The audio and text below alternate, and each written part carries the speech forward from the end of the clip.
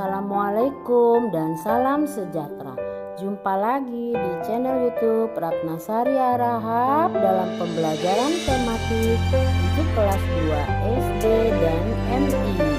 Jangan lupa ya, like, share, comment, and subscribe-nya.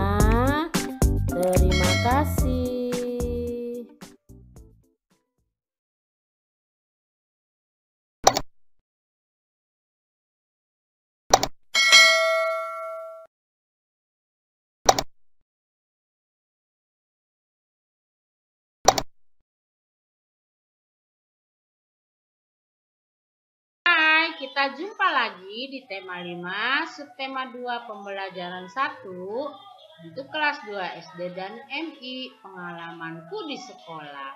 Sebelum pembelajaran, kalian berdoa terlebih dahulu ya.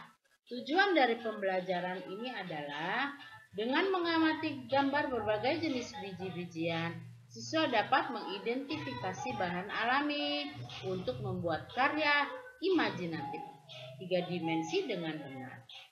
Siswa dapat membuat karya imajinatif tiga dimensi dengan benar.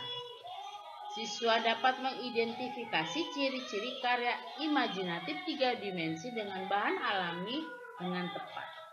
Dengan memperhatikan apa yang disampaikan guru, siswa dapat mendengarkan teks percakapan yang berhubungan dengan budaya minta tolong sebagai cermin hidup rukun dan kemajemukan masyarakat Indonesia dengan baik. Siswa dapat mempraktikkan ungkapan santun dengan menggunakan kata tolong untuk hidup rukun dalam kemajemukan dengan baik. Dengan tanya jawab, siswa dapat menentukan konversi mengubah satuan panjang dengan tepat, serta membandingkan dua satuan. Siswa dapat mengukur panjang benda dengan satuan baku yang sering digunakan dengan tepat. Yuk kita mulai pembelajarannya. Kalian perhatikan ya gambar berikut. Benny dan teman-temannya mendapat tugas. Tugas ini dilakukan saat liburan. Apa tugasnya? Tugasnya menghias pas bunga. Ayo amati. Amati gambar berikut. Sebutkan bahan untuk membuat hiasan pas bunga. Biji-bijian untuk menghias pas bunga. Sebutkan biji-bijian yang digunakan. Ada biji jagung, kacang hijau, gabah, kacang kedelai, biji bunga matahari, dan biji kacang hijau. Kalian bisa mencari biji-biji lainnya ya, yang sesuai atau yang ada di lingkungan kalian. Contohnya seperti biji kuaci ya bisa dan lain-lain. Ayo mencoba. Kamu sudah mengetahui bahan untuk menghias vas bunga. Sediakan bahan tersebut. Juga sediakan lem dan sarung tangan. Pilihlah pola hiasan seperti gambar berikut. Ini ada contoh-contohnya ya. Ada pola hiasan nomor satu gambarnya itu, nomor dua gambarnya itu, dan nomor tiga ada gambarnya juga tuh ya. Nomor empat juga ada polanya. Nomor 5 beda lagi polanya itu gambarnya. Dan nomor 6 ada pola seperti itu berbeda-beda ya. Dan ada pola gambar nomor 7 dan pola nomor 8. Kalian pilih sesuai hati nurani kalian. Dan kalian boleh juga kok mengarang sendiri pola yang kalian inginkan. Nah ini sudah jadi Kuncinya ya udah dihias pas bunganya. Ayo menulis. Kamu sudah menghias pas bunga. Hasilnya merupakan karya hiasan pas bunga. Tuliskan ciri-ciri karyamu. Nah ini ada nih ciri-cirinya nomor satu. Terbuat dari gerabah. Dua berbentuk lonjong. Tiga disertai ukiran yang unik. Empat memiliki warna gerak cerah 5. Bentuknya unik seperti guci. Kalian bisa menuliskan ciri-ciri lainnya ciri-ciri lainnya sesuai hasil karyamu ya. Ayo berlatih. Benny bekerja secara kelompok. Kelompoknya Benny sedang membuat hiasan pas bunga. Benny dan kelompoknya berdiskusi, diskusi untuk menyelesaikan tugasnya. Dengarkan ya gurumu membacakan percakapan Benny. Buatlah pertanyaan sesuai teks percakapan. Teks percakapan Benny tentang membuat hiasan pas bunga. Dayu, adakah lem untuk melekatkan biji-bijiannya? Ada, Benny. Ada di depan Udin. Dayu sambil menunjuk biji-bijiannya. Udin, tolong ambilkan biji-bijian yang berwarna merah ya. Baiklah, Benny.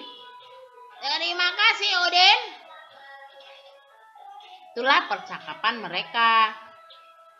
Nah, mintalah temanmu menjawab pertanyaannya. Nah, ini contoh pertanyaannya adalah apa saja bahan yang mereka butuhkan? Jawaban teman adalah mereka membutuhkan biji-bijian, lem, dan sarung tangan ya. Ayo menulis, jawablah pertanyaan berikut. Jawaban berdasarkan percakapan Benny ya. Apa yang dilakukan Benny bersama teman-temannya? Benny dan teman-temannya sedang membuat hiasan pas bunga. Siapa yang berniat membantu Meli? Anggota kelompoknya.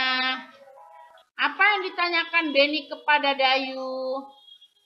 Benny bertanya kepada Dayu, apakah ada lem yang bisa digunakan untuk melekatkan biji-bijian?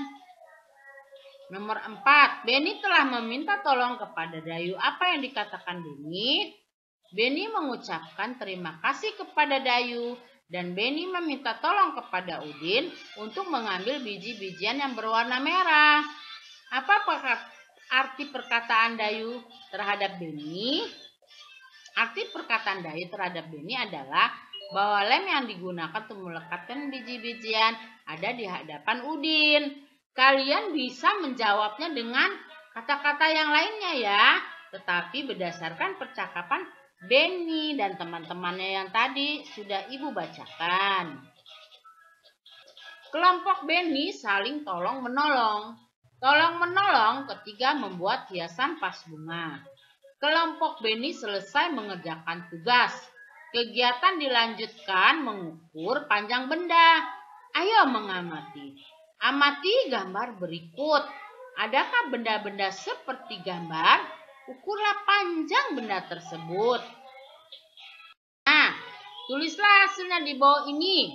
Ada nomor satu gambar meja, panjangnya 90 cm.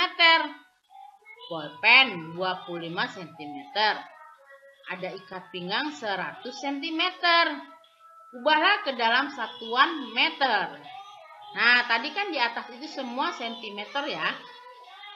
Kita akan ubah nih Nomor 1 90 cm menjadi 0,9 meter. Nomor 2 25 cm menjadi 0,25 cm. Nomor 3 100 cm menjadi 1 cm. Kalian bisa mengukur benda-benda yang ada di sekitar kalian ya. Lalu konversikan atau ganti kesatuan meter dari sentimeter. Kalian bisa mengukurnya dengan penggaris sentimeter dan mengubahnya menjadi meter seperti contoh gambar di sini ya.